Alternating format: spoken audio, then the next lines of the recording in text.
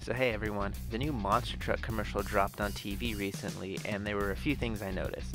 So I'm going to break it down and take a look at some of the things in it. And for those who are paying attention, there are some major spoilers in it. As you can see in the background, they have a number of trucks set up, and most of them we know already. V8 Bomber, Tiger Shark, Mega-Wrex, Hot Wheels Racing 1 and 2, Bone Shaker, etc. But when we slow it down, there's a few surprises hiding back there. And no, it's not the Bigfoot that we've already been told about. It's the 5 alarm fire truck monster truck in the background. And that's not the only spoiler hiding in this commercial. Moving forward, we see more of the same trucks we already know about, but it's this final scene that we have a lot of unusual surprises in. So I've circled them all here and we're going to take a look at them as best as we can. Starting from the left, it looks like a Redeco SUV type cab seen in the Category 5 in Stars and Stripes model.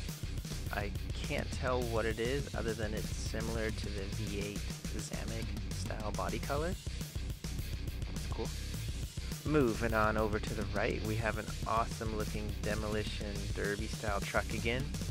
Painted wheels are looking very nice.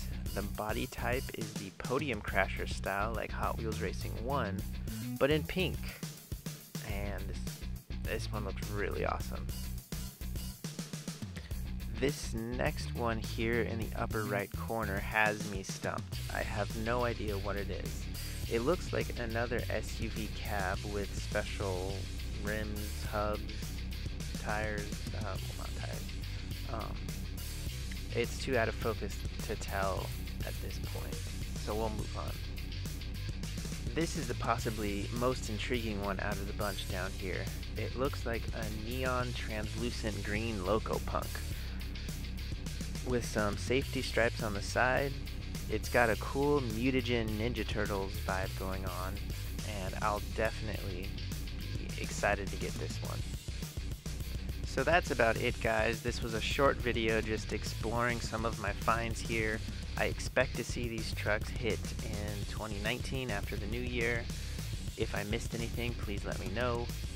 If you want to check out the commercial, I've uploaded it here. And most important, subscribe, comment, and like to let me know if you guys like the channel. There's a lot of videos coming up with the holiday season.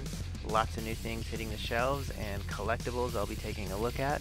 I don't want you to miss it. So take care and I'll see you later.